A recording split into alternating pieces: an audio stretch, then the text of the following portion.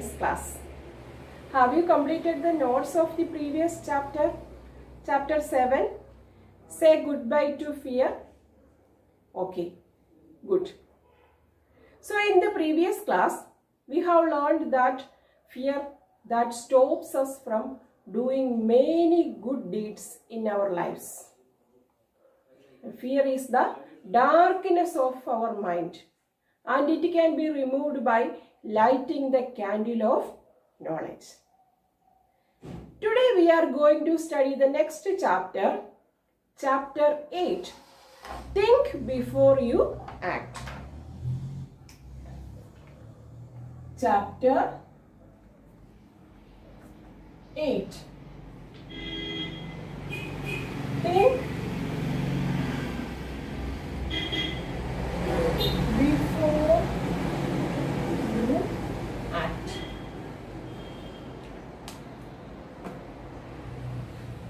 നമ്മൾ ഒരു പ്രവൃത്തി ചെയ്യുന്നതിന് മുൻപ് അത് എന്താണെന്നും എങ്ങനെയാണെന്നും ഒന്ന് ചിന്തിക്കുക. അപ്പം അത് അതായത് ആ പ്രവൃത്തി ചെയ്ത് കഴിഞ്ഞാൽ ഉണ്ടാവുന്ന ഫലത്തെ പറ്റി ഒന്ന് ചിന്തിക്കുക. അതിനുശേഷം മാത്രം ആ കർമ്മം നമ്മൾ ചെയ്യുക. Human mind is curious it wants to experience whatever it likes before doing a work we should take all precautions so that we, we may avoid its negative impact. Okay? So all of you please open your moral science textbook, page number 25. First I read the textbook. You listen it carefully. So chapter 8, think before you act. First paragraph. Once a robber was going through a jungle. It was a dense forest. The robber had, robber had gold coins in a bag, which was tied to his waist. Suddenly, a bear came from the bushes and attacked him. He began fighting with the bear with all his might and in the process his bag of coins slipped and fell on the ground. The gold coins scattered all over. ഒരിക്കൽ ഒരു കൊള്ളക്കാരൻ robber means കൊള്ളക്കാരൻ ഒരു കാട്ടിലൂടെ ഇങ്ങനെ സഞ്ചരിക്കുകയായിരുന്നു അത് വളരെ വലിയൊരു കാടായിരുന്നു ആ കൊള്ളക്കാരന്റെ കയ്യിൽ കൊള്ളക്കാരൻ എന്ന് പറഞ്ഞാൽ എന്താണ്? മറ്റുള്ളവരെയൊക്കെ ആക്രമിച്ച് അവരുടെ കയ്യിൽ നിന്ന് ധനവും മറ്റു ഗോൾഡും സാധനങ്ങളും ഒക്കെ അടിച്ചു മാറ്റുന്ന ആളാണ് കൊള്ളക്കാരൻ. അപ്പൊ അങ്ങനെ മറ്റേ ആരുടെയോ കയ്യിൽ നിന്ന് സമാഹരിച്ച അല്ലെങ്കിൽ കൊള്ളയടിച്ച കുറെ ഗോൾഡ് കോയിൻസും അയാളുടെ ബാഗിലുണ്ടായിരുന്നു. ആ ബാഗ് അയ ആ കൊള്ളക്കാരൻ തന്റെ വേസ്റ്റിൽ കെട്ടിവെച്ചിരിക്കുകയായിരുന്നു. അപ്പൊ അങ്ങനെ ആ കാട്ടിലൂടെ കൊള്ളക്കാരൻ സഞ്ചരിച്ചുകൊണ്ടിരുന്നപ്പോഴേ ഒരു കരടി ആ ഒരു കാട്ടിൽ നിന്നും ഒരു കുറ്റിക്കാട്ടിൽ നിന്നും ചാടി ഇയാളുടെ മുന്നിലേക്ക് ഇയാളെ അറ്റാക്ക് ചെയ്യാനായിട്ട് വന്നു ആക്രമിക്കാനായിട്ട് വന്നു. ആ പെട്ടെന്നുള്ള ആക്രമണത്തിൽ എന്ത് ചെയ്തു? ഈ കൊള്ളക്കാരന് ചെറിയ പരിഭ്രമമൊക്കെ വന്നു. പക്ഷെ ആ കൊള്ളക്കാരൻ അയാളുടെ സർവശക്തിയും ഉപയോഗിച്ച് ആ കരടിയെ തിരിച്ചു ആക്രമിക്കാൻ തുടങ്ങി.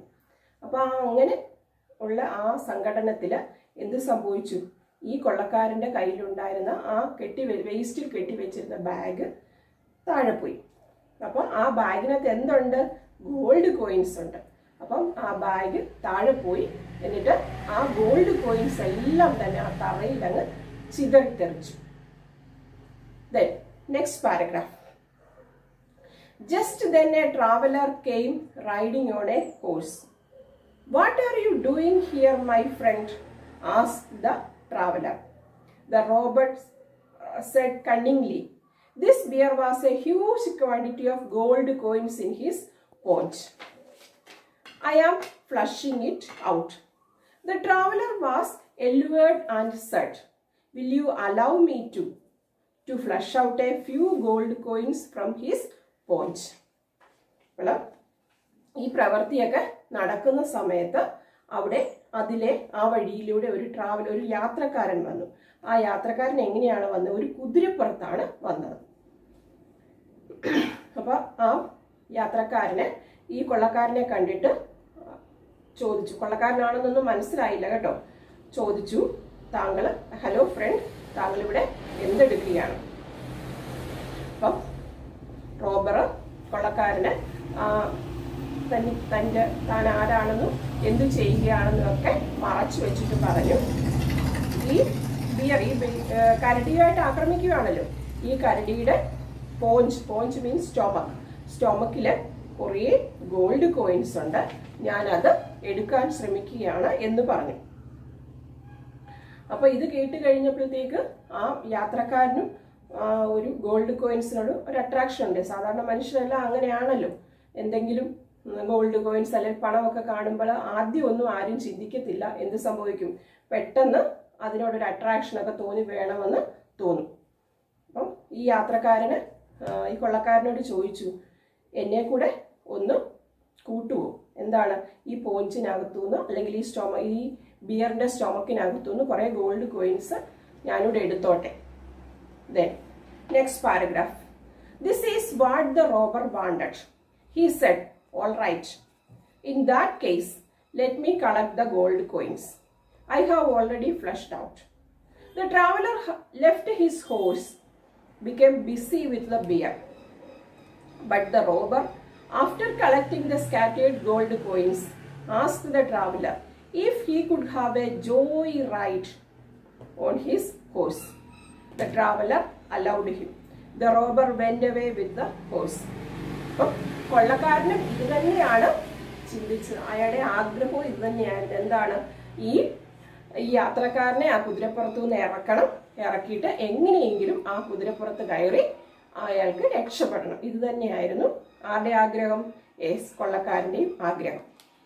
അപ്പം ആ ഒരു ഇതിലേക്ക് തന്നെ ആര് വന്നു യാത്രക്കാരൻ അപ്പം ഇത് കേട്ടിട്ട് കൊള്ളക്കാരൻ പറഞ്ഞു ശരി. ഞാൻ എനിക്ക് ആവശ്യമുള്ള ഗോൾഡ് കോയിൻസ് ഒക്കെ എനിക്ക് കിട്ടി. ഈ താഴയിലൊക്കെ കിടപ്പുണ്ടായിരുന്നല്ലോ അത് ഈ ബിയറിൽ നിന്ന് കിട്ടിയതാണെന്നാണ് ആര് പറഞ്ഞത് കൊള്ളക്കാരൻ. എന്നിട്ട് ഈ ട്രാവലർ എന്ത് ചെയ്തു? പിന്നെ കുതിരപ്പുറത്തുനിന്ന് താഴെ ഇറങ്ങി എന്നിട്ട് ബിയറിന്റെ അടുത്ത് ചെന്നു. അപ്പോൾ ആ സമയം കൊണ്ട് ആ റോബർ താഴെ കിടന്ന കോയിൻസ് എല്ലാം കളക്ട് ചെയ്തു. എന്നിട്ട് ചോദിച്ചു ഞാൻ ഈ കുതിരപ്പുറത്ത് ഒന്ന് ഒന്ന് ചുറ്റി സഞ്ചരിച്ചിട്ടൊരു സഞ്ചാരമൊക്കെ കഴിഞ്ഞിട്ട് വരട്ടെ എന്ന് ചോദിച്ചു. അപ്പം ട്രാവലർ ഇത് കേട്ടിട്ട് സന്തോഷത്തോടെ അത് സമ്മതിച്ചു. എന്താണ് ഈ ഗോൾഡ് കോയിൻസ് ഇനിയും തനിക്കും അതിനകത്ത് ബിയറിൽ നിന്ന് കുറേ ഗോൾഡ് കോയിൻസ് കളക്ട് ചെയ്യാം. ആ സമയം കൊണ്ട് ഏതായാലും കൊള്ളക്കാരൻ സഞ്ചരിച്ചിട്ട് വരട്ടെ എന്ന് വിചാരിച്ചു. അങ്ങനെ ആ കൊള്ളക്കാരൻ എന്ത് ചെയ്തു? കുതിരപ്പുറത്ത് കയറി ഓടിച്ചുപോയി. Next paragraph soon the traveller realise that he had been trying സംഭവ് something impossible there were no gold coins flushing out of the bear's pouch he somehow manage to free himself from the bear and scrambled up a nearby tree he looked around from there but his horse and the robber were not to be seen. It became clear to him that he had been thoroughly cheated. അപ്പോൾ കുറേ നേരം ശ്രമിച്ചു കഴിഞ്ഞപ്പോഴത്തേക്ക് ഈ യാത്രക്കാരന് മനസ്സിലായി താൻ ചെയ്ത് അസാധ്യമായിട്ടുള്ള ഒരു കാര്യമാണ് അതായത് ഈ ബിയറിന്റെ പോഞ്ചിൽ എന്തില്ല ഗോൾഡ് കോയിൻസ് ഒന്നും ഇല്ല അപ്പൊ പിന്നെ യാത്രക്കാരന്റെ ശ്രമം എന്താണ്? ഈ കരടിയിൽ നിന്നും രക്ഷപ്പെടാനായി ശ്രമിക്കാൻ തുടങ്ങി. അപ്പോൾ എന്ത് ചെയ്തു? രക്ഷപ്പെടാൻ വേണ്ടി ആ അതിന്റെ അടുത്തുള്ള ഒരു മരത്തിൽ ആ യാത്രക്കാരനെ പറ്റിപ്പിടിച്ച് കയറി. എന്നിട്ട് ആ മരത്തെ കയറി ഇരുന്നിട്ട് അദ്ദേഹം ചുറ്റുപാടും ഒന്ന് നോക്കി. തന്റെ കുതിരയും കൊള്ളക്കാരനെയും അവിടെ എവിടെയെങ്കിലും ഉണ്ടോ എന്ന് നോക്കി. പക്ഷെ അവരെ രണ്ടുപേരെയും അവിടെ എങ്ങും കാണാനായിട്ട് ഇല്ലായിരുന്നു. അപ്പോൾ അങ്ങനെ ആ യാത്രക്കാരന് മനസ്സിലായി. ഈ കൊള്ളക്കാരൻ തന്നെ പറ്റിച്ചതാണെന്ന് മനസ്സിലായി. താൻ കബളിക്കപ്പെട്ടു എന്ന് മനസ്സിലായി. The next para paragraph whenever we do something we have to think twice if we resort to good planning we would be able to finish any work on time അപ്പം നമ്മൾ എന്തെങ്കിലും ഒരു കാര്യം ചെയ്യുന്നതിന് മുമ്പ് മിനിമം രണ്ട് പ്രാവശ്യമെങ്കിലും അതിനെപ്പറ്റി ചിന്തിക്കണം ആ എന്തെങ്കിലും വർക്ക് ചെയ്യുമ്പോൾ ഒരു ശരിയായ രീതിയിൽ അത് പ്ലാൻ ചെയ്തെങ്കിൽ മാത്രമേ നമുക്കതിന് നിശ്ചയിച്ചിട്ടുള്ള ആ ഒരു സമയത്തിനുള്ളിൽ അത് വിജയകരമായിട്ട് പൂർത്തിയാക്കാനായിട്ട് നമുക്ക് സാധിക്കത്തുള്ളൂ Then, next paragraph planning makes us to do better. Before we do something we have to think about the consequences of all our actions. We would be able to finish all our actions successfully if we have good intention. അപ്പം ഏതൊരു കാര്യവും അല്ലെങ്കിൽ ഏതൊരു പ്രവൃത്തിയും ചെയ്യുന്നതിന് മുമ്പ് എന്ത് വേണം നമുക്കൊരു പ്ലാനിങ് വേണം അപ്പോൾ അത് ആ പ്രവൃത്തി എന്താണെന്നും അതെങ്ങനെ നമുക്ക് ചെയ്യാമെന്നും എത്ര സമയത്തിനുള്ളിൽ നമ്മൾ അത് ചെയ്ത് തീർക്കാമെന്നും എങ്ങനെ അത് ചെയ്തു കഴിഞ്ഞാലുള്ള അതിന്റെ ഫലം എന്താണെന്നും അങ്ങനെ നമ്മൾ എല്ലാത്തിനെ പറ്റിയും ചിന്തിച്ചതിന് ശേഷം മാത്രമേ നമ്മൾ ആ പ്രവൃത്തി ചെയ്യാവൂ. അപ്പോൾ അങ്ങനെ ഒരു പ്രവൃത്തി ചെയ്യുന്നതിന് മുമ്പ് തന്നെ അത് ചെയ്യ ചെയ്ത് കഴിഞ്ഞാലുള്ള അതിന്റെ അനന്തരഫലത്തെപ്പറ്റി നമ്മൾ ചിന്തിക്കണം. അപ്പൊ അങ്ങനെ ഒരു കരുതലോടുകൂടി നമുക്ക് ചെയ്യുകയാണെങ്കിൽ നമ്മൾ ആ പ്രവൃത്തി നമുക്ക് വിജയകരമായിട്ട് പൂർത്തിയാക്കാനായിട്ട് സാധിക്കും. Then last paragraph a wise man plans his future well you should not take any step in haste whenever whenever you take a decision think of its negative and positive effects. It will help you to be successful. അപ്പോൾ ഒരു വിവേകി വിവേകിയായ അതായത് ഒരു ബുദ്ധിയുള്ള മനുഷ്യർ എപ്പോഴും തന്റെ ഫ്യൂച്ചറിനെ പറ്റി തന്റെ വരാൻ പോകുന്ന ഭാവി കാലത്തെ പറ്റി ചിന്തിക്കും. അതിനെപ്പറ്റി ഒരു പ്ലാനിങ് ആ ആൾക്ക് ഉണ്ടായിരിക്കും. അതുപോലെ തന്നെ നമ്മൾ ഓരോ സ്റ്റെപ്പും അങ്ങനെ തിടുക്കപ്പെട്ട ഒരു കാര്യവും തന്നെ ചെയ്യേണ്ട കാര്യമില്ല. പിന്നെ നമ്മളൊരു തീരുമാനം എടുക്കുമ്പോൾ ഒരു ഒരു കാര്യത്തെപ്പറ്റി ഒരു തീരുമാനം എടുക്കുമ്പോൾ അതിന്റെ പോസിറ്റീവ് ഇഫക്ട്സും നെഗറ്റീവായിട്ടുള്ള ഫലങ്ങളും പറ്റി നമ്മൾ ചിന്തിക്കണം.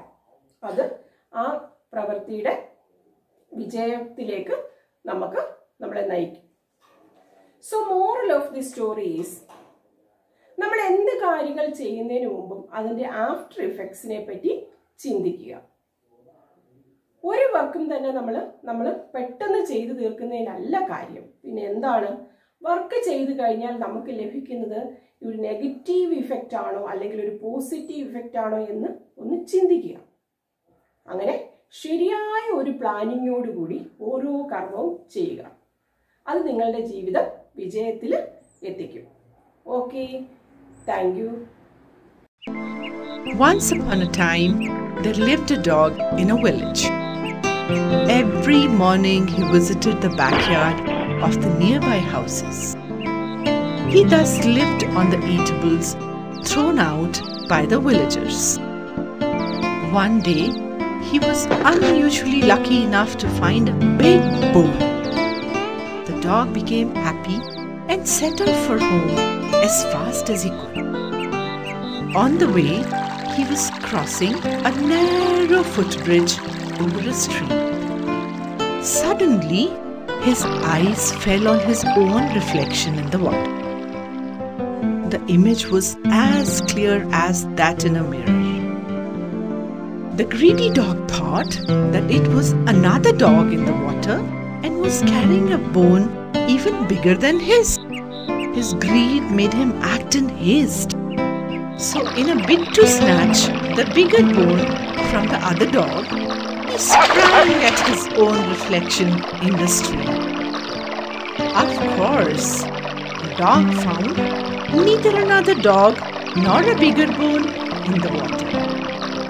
Also, he lost his own bone, which fell from his mouth while he dived into the water. Moreover, the greedy dog found himself swimming for life. After much effort, he reached the shore and scrambled out of water. Finally, on reaching the shore, he stood a while, cursing himself for his foolish act, for he would have to search for food all over again. think for you at